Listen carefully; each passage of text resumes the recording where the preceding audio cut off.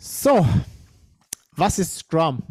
Ähm, das Lustige ist, wenn man heutzutage irgendwo in eine Suchmaschine hineingeht und man äh, tippt in Scrum, dann erscheinen die ganzen Prozessbilder zum Thema Scrum. Aber Scrum kommt eigentlich ursprünglich äh, aus dem Rugby und Team Huddle ist, glaube ich, so dieser Begriff, wenn das Team so zusammenkommt.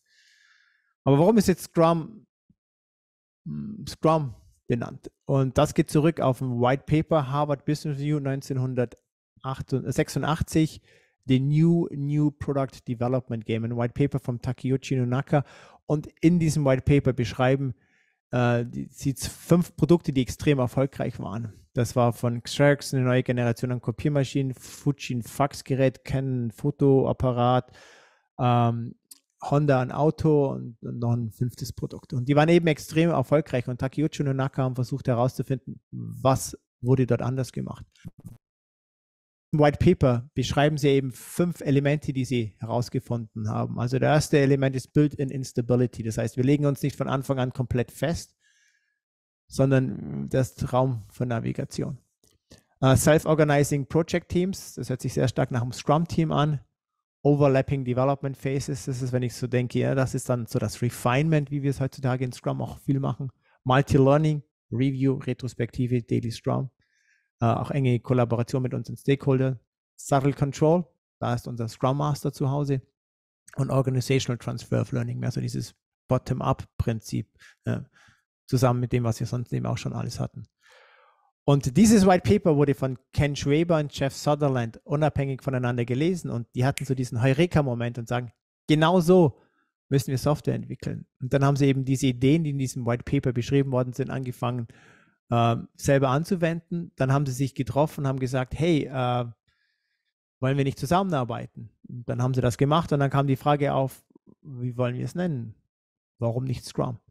Das Lustige ist, wenn man in dieses White Paper hineingeht, den New, New Product Development Game, und man sucht nach dem Wort Scrum, es erscheint genau einmal in einer Überschrift äh, in dem Artikel und das heißt Moving the Scrum Downfield. Aber das ist die Geschichte dahinter, warum Scrum eigentlich Scrum heißt.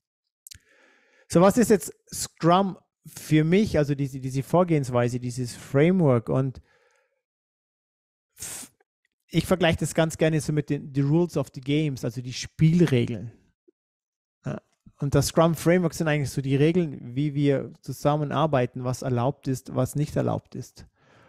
Und für mich ist auch so ein schönes Beispiel dafür Fußball. Ein Abseits ist ein Abseits. Das kann lästig sein oder das kann auch eine Taktik sein, je nach der Situation. Das heißt, die Regeln von Scrum, die können situationsbezogen angewendet werden, angepasst werden, aber sie dürfen halt nie außerhalb des regulären sein, des erlaubten Seins. Und das ist auch der Grund, warum Scrum ein Framework ist und keine Methode, kein Kochbuch, wo genau drin steht, du machst immer das und das und das, sondern eher eine Denkweise, wo man sagt, okay, in welcher Situation befinden wir uns jetzt? Was können wir ausprobieren? Was erlauben uns die Regeln? Was erlauben uns nicht die Regeln?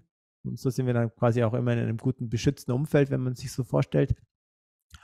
Und dann lernt man eben daraus. Und so entsteht dann eben auch diese, die Empirie, die wir letztendlich dann eben haben, dass wir aus dem Gelernten herausgefunden haben, was hat funktioniert, was hat nicht funktioniert, in der nächsten Situation, was macht mehr Sinn, wie können wir uns verbessern in dieser Hinsicht. Das ist so für mich so die, die, die Denkweise, wie ich persönlich aus Scrum sehe, so ein Regelwerk, Spielregeln. Wir sagen, okay, wie können wir das bestmögliche Produkt in unserem gegebenen Umfeld mit den Constraints, die wir haben, Zeit, Budget, uh, Skills und so weiter.